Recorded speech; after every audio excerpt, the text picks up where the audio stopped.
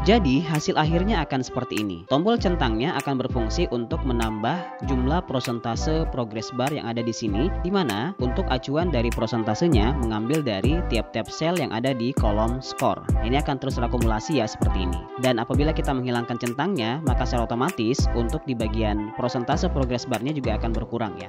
Pada kesempatan kali ini, saya akan kembali menjawab pertanyaan dari salah seorang penonton yang sudah bertanya lewat WhatsApp. Kali ini, pertanyaan tentang laporan dalam bentuk checklist ya. Kalian yang penasaran? Langsung aja kita simak tutorialnya.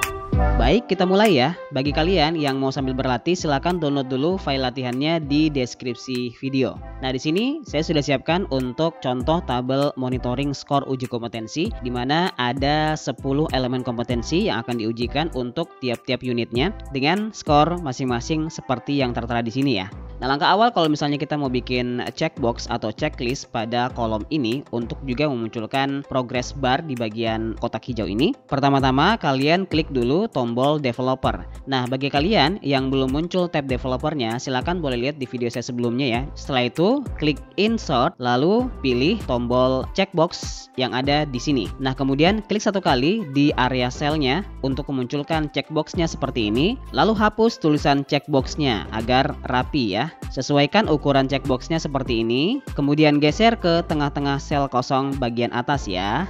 Checkbox ini tinggal kita duplikasi ke bawah dengan cara mengklik pada sel paling atas, lalu arahkan ke pojok kanan bawah sampai berubah menjadi tanda plus hitam seperti ini.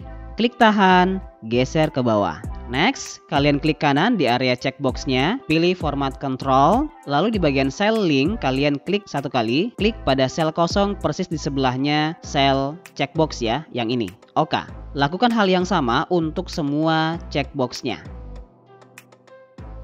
Untuk menguji apakah checkbox ini berfungsi atau tidak, kita cukup klik satu kali aja ya. Nah, apabila muncul tulisan true di area sel yang sudah kita sel link tadi, maka ini tandanya berfungsi ya. Kita coba tes untuk yang lain. Wah, aman ya.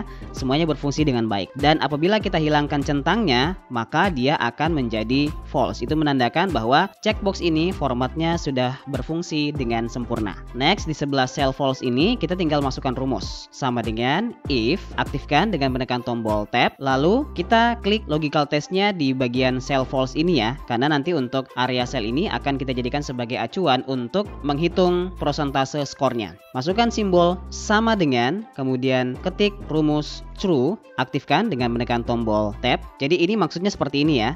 Jika sel yang kita klik tadi di sini jawabannya adalah true, maka ya kalian masukkan titik koma atau koma tergantung dari yang muncul di sebelah tulisan logical test ini ya. Maka hasilnya akan mengacu pada sel skor di sini ya. Selain itu, selain dari true berarti false ya, 0. Balas kurung. Kita coba enter. Nah, ini jawabannya 0 karena di sini yang tertera bukan true tapi false ya. Begitu maksudnya. Kita duplikasi dulu rumusnya ke bawah seperti ini. Klik tahan, geser ke bawah. Nah, sekarang yang terakhir kita akan memasukkan progress barnya, progress prosentase barnya di sini agar seperti yang tadi ya di sebelah. Kalian cukup menggunakan rumus sama dengan sum, aktifkan.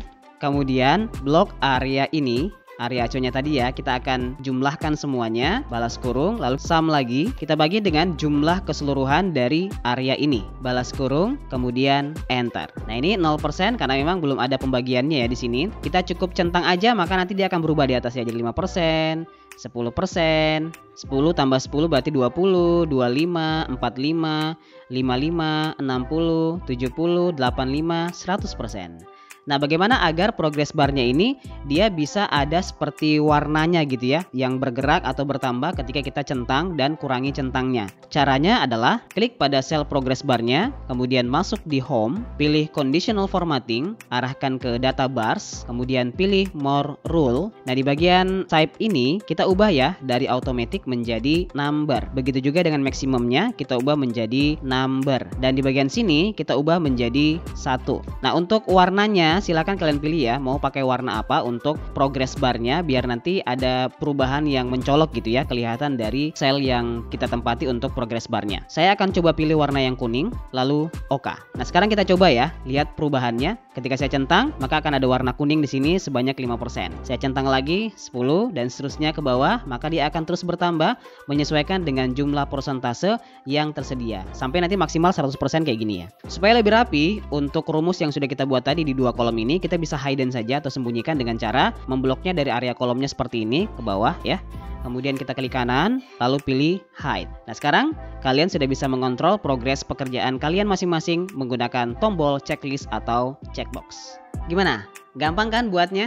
Jadi buat kalian nih yang juga ingin bertanya, jangan malu-malu ya, langsung aja ketikkan di kolom komentar. Insya Allah nanti saya jawab dalam bentuk video tutorial. Makasih ya, dan sampai jumpa di konten berikutnya.